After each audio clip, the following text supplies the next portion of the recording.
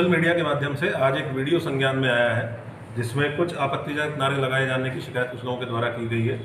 इस वीडियो का अध्ययन किया गया, जो दो लोग हैं, जिसके समर्थन में आयोजन किया जा रहा था, प्रत्याशी पप्पू खान और नारा लगाने वाला खुर्शीद अहमद, पुत्र शिबली पहलवान, जो वहीं पश्चिम जहानागंज का रहने वाला है। इन दोनों को पुलिस के द्वारा हिरासत में लिया गया है। सुसंगत धाराओं में एफआईआर पंजीकृत की जा रही है। इनके मोबाइल को भी जब्त करते हुए उससे जो मूल वीडियो है उसको रिकवर करा के फॉरेंसिक जाँच उसकी कराई जाएगी और कठोर कार्रवाई इसमें सुनिश्चित की जाएगी। थाना जहानागंज पुलिस के द्वारा सुसंगत धाराओं में एफआईआर पंजीकृत की जा रही है। विस्तृत पूछताछ दोनों से जारी है। क्या इस जुलूस की कोई परमिशन थी या नहीं थी, इसके संबंध में भी जानकारी की जा रही है। ये भी धारा इसमें बढ़ाई जाएँगी। विदाउट परमिशन जो क्योंकि धारा एक सौ चौवालीस जनपद में लागू है विदाउट परमिशन जुलूस निकालने के संबंध में भी जो अपराध हुआ है, उसकी भी धाराएँ इसमें शामिल की जाएगी।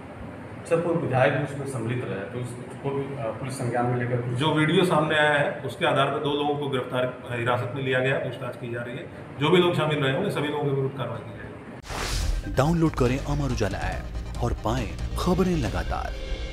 अगर आप ये वीडियो YouTube पर देख रहे हैं तो हमारे चैनल को सब्सक्राइब करें और बेल आइकन को दबाना ना भूलें। अगर आप Facebook पर ये वीडियो देख रहे हैं तो हमारे पेज को लाइक करें।